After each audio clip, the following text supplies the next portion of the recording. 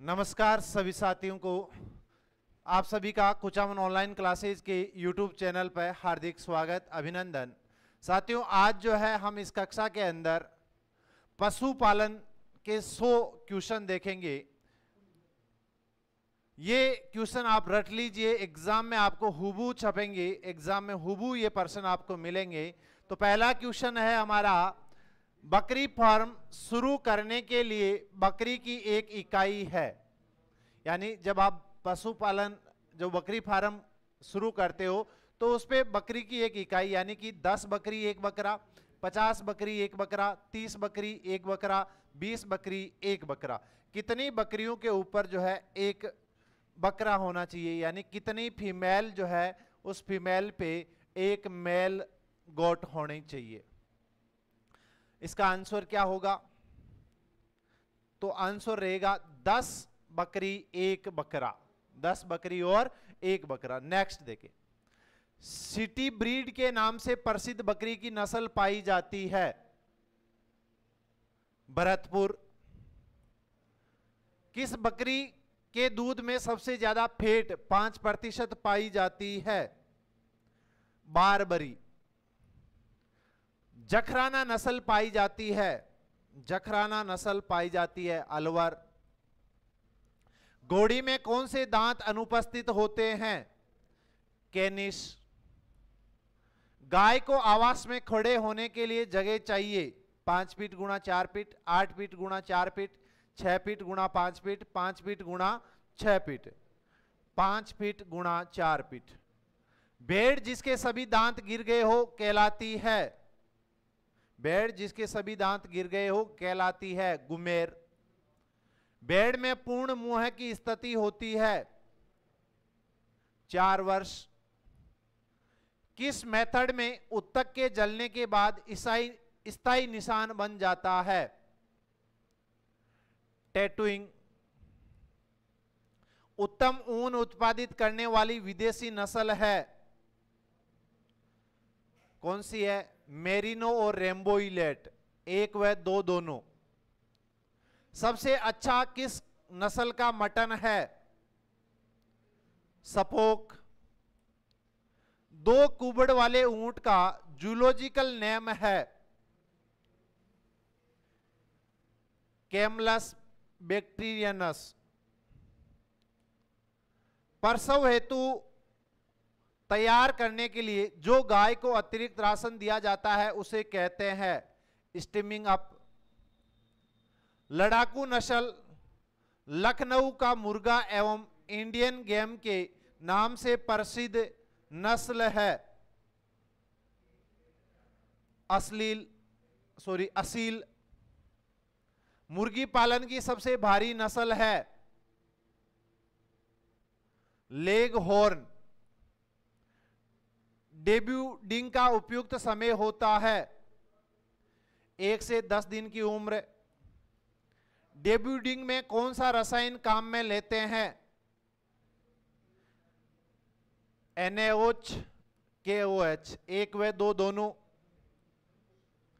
Electric day Horner से सिंग रोदन करते समय टेम्परेचर अपॉन टाइम होना चाहिए। टेम्परेचर अपॉन टाइम होना चाहिए।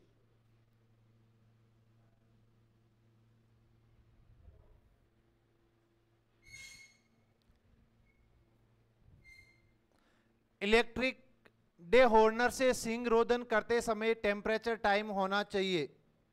100 डिग्री 1000 डिग्री फारेनहाइट प्रति 10 सेकंड। बदिया करना की रक्त विहीन विधि है। बर्डीजो कैस्ट्रेटर द्वारा, रबर के छले द्वारा, एक व दो दोनों। दूध छुड़ाने के लिए बछड़े को गाय से अलग करना कहलाता है। वियनिंग गाय का जीवन काल होता है। 20 वर्ष। ब्रूसिलोसिस का जीवित टीका है। बी एबोटस स्ट्रेन 19 काप द्वारा त्यागा हुआ प्रथम मैल मल कहलाता है। मेकोनियम। घोड़े के झुंड को कहते हैं। पैक। गया भिन्न गाय के लिए लूज हाउसिंग सिस्टम में आच्छादित क्षेत्र की आवश्यकता होती है। 100 से 120 वर्ग फीट घोड़ी का गेस्टेशन पीरियड होता है। 341 दिन बकरी का गेस्टेशन पीरियड होता है। 155 दिन वह गाय जो हमेशा गर्मी में रहती है। कौन सी रहती है? नाइमोफेनेमिक और बुलर। दो व तीन दोनों। एलटी एलटी पास्चुरीकरण के लिए तापमान समय होगा। तिरसठ डिग्री सेंटीग्रेड प्रति 30 minute. H T S T पास्चुरीकरण के लिए तापमान होगा। बहत्तर डिग्री सेल्सियस प्रति 30 सेकेंड। गाय का दूध पीला एवं भैंस का दूध सफ़ेद कर्मश से किसके कारण होता है? केरोटीन और कैशिन फ्लूसिंग रेशन दिया, राशन दिया जाता है। प्रजनन मौसम से पहले। स्ट्रीमिंग अप दिया जाता है। गर्भावस्था के समय लूज हाउसिंग सिस्टम में प्रति भैंस कितने ढके हुए क्षेत्र की आवश्यकता होती है? चार वर्ग मीटर। इंडियन गेम के नाम से प्रसिद्ध नस्ल है। कौन सी है? असील। लूज हाउसिंग सिस्टम में एक ग्याबिन गाय को कितना खुला क्षेत्र चाहिए? 180 से 200 वर्ग मीटर। ऊँट को प्रतिदिन पीने के पानी की आवश्यकता होती है। 25 से 35 लीटर। गाय व भैंस के संकरण से प्राप्त नस्ल को कहते हैं, क्या कहते हैं, कैटेलो। कैस्ट्रेशन किए हुए घोड़े को कहते हैं, कास्ट्रेशन किए हुए घोड़े को कहते हैं। गैल्ड। रेम्बो, रेम्बोइलेट नर एवं चोकला मादा का संकरण है। कौन सा है? अविवस्तर। सूरती नस्ल है। किसकी है? भैंस की। रिफस मेथड किस जानवर को नियंत्रित करने के काम में ली जाती है? गाय। ट्विच किस जानवर में काम में लेते हैं? घोड़ा। क्रेडल कहाँ लगते हैं? गर्दन।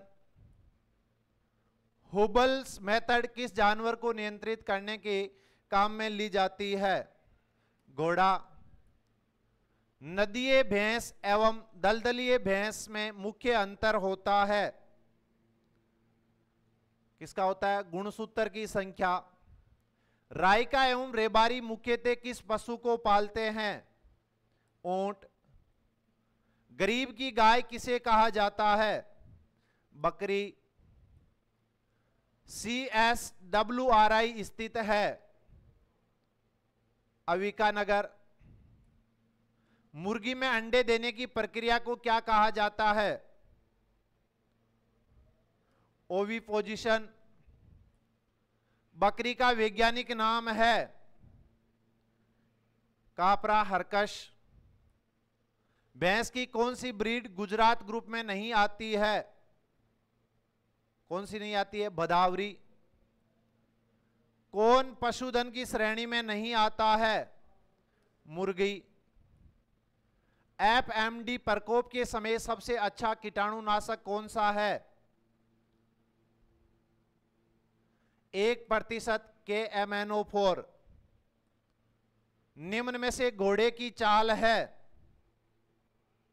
तो ये सभी है ट्रोट, कॉन्टर, गैलप, सभी। ब्रांड, ब्रांडिंग करने का उचित स्थान है। जांग। सानेन का उत्पत्ति स्थल है। Switzerland Switzerland. निमारी गाय किसका मिश्रण है? गिर खिलारी सबसे ज़्यादा बच्चे देने वाली भेड़ एवं बकरी की नस्ल कर्मश है। गेरोल, बलेक, बंगाल। राजस्थान में वर्ष 2019 की पशु गणना के आधार पर गायों की संख्या है। एक लाख। ऊंटों को अपनाने वाले समाज को कहते हैं रायका या रेबारी। ऊंटों को नियंत्रित करते हैं गिरबान से। ऊँट के साधारण त्याग किस प्रकार की विधि से पहचान चिन्ह लगाते हैं? ब्रांडिंग।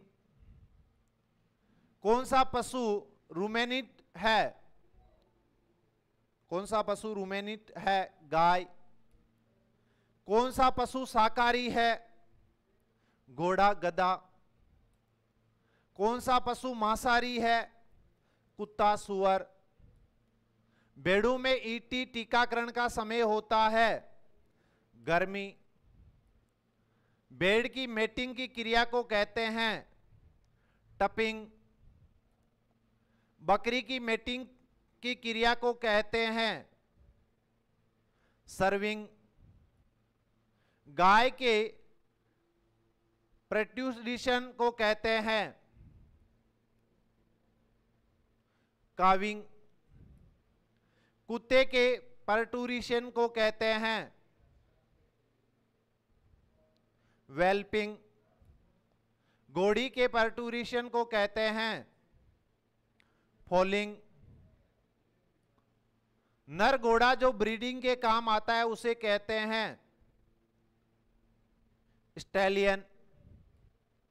मादा भेड़ जो ब्रीडिंग के काम आती है, उसे कहते हैं। ईयू।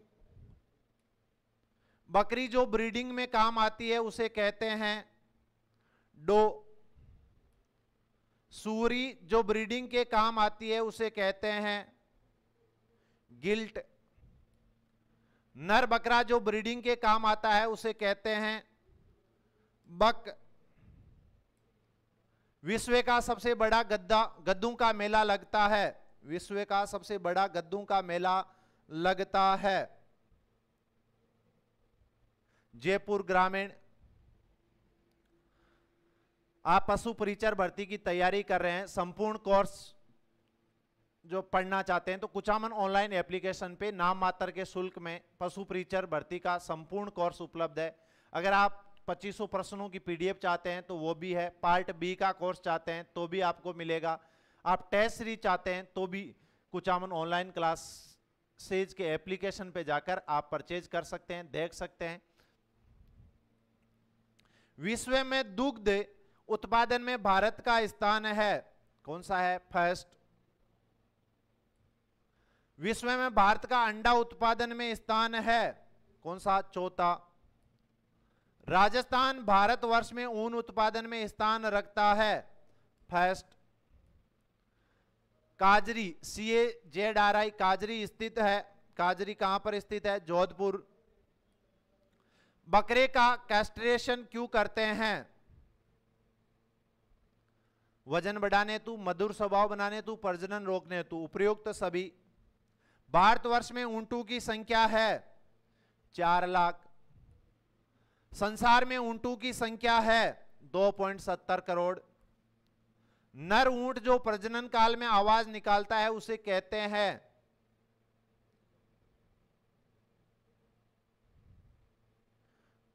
गुरगलिंग।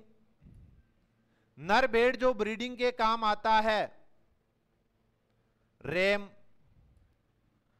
कैस्ट्रेशन किए गए वैशक नर गोवंश को कहते हैं। बैल, गोवंश के मीट को कहते हैं। बीप भैंसा वंश के मीट को कहते हैं। कास बीप बकरे के मीट को कहते हैं चेवन भेड़ के मीट को कहते हैं पोर्क, सूरी के मीट को कहते हैं, है ना, एक मिनट भेड़ के जो मीट है इसको मटन कहा जाता है। भेड़ के मीट को मटन कहा जाता है और सूरी के मीट को पोर्क कहा जाता है। मटन मीट का रंग होता है हल्का लाल। गोवंश की वर्गीकरण के अनुसार फैमिली होती है बोविडी। गोवंश के शरीर का नॉर्मल टेम्परेचर होता है 101 से 102 फारेनहाइट। ऊँट के शरीर का नॉर्मल टेम्परेचर होता है सत्तानवे अट्ठानवे फारेनहाइट। भेड़ बकरी के शरीर का नॉर्मल टेम्परेचर होता है। 102 से 103 फारेनहाइट तो साथियों, ये आज हमारे 100 क्वेश्चन थे फटाफट रिवीजन के हिसाब से।